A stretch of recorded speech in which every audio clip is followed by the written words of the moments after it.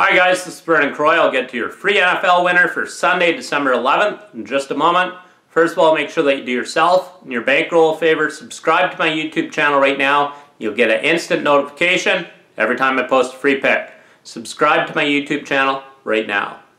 Your free pick winner for Sunday, December 11th, we're taking the Houston Texans plus 6 against the spread over the Indianapolis Colts. The Texans are 7-0-1 against the spread in their last 8 divisional games. They're 9-1 and 1 against the spread after putting up less than 15 points in their previous game.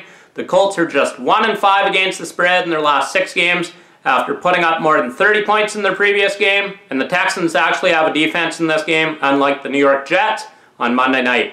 The Jets basically quit on their season in that game Monday night, and that won't happen to the Texans here Sunday. The Texans have allowed the sixth least amount of yards per game this season, with opponents averaging just 316 yards per game against them. And they've also allowed the fifth least amount of passing yards total this season. So once again, your free pick winner for Sunday, December 11th, we're taking the Houston Texans against spread plus six. I actually look for them to win this game outright on the road in Indianapolis. So take them as your free play for Sunday, December 11th. Make sure that you subscribe to my YouTube channel right now. You'll get an instant notification every time I post a free pick.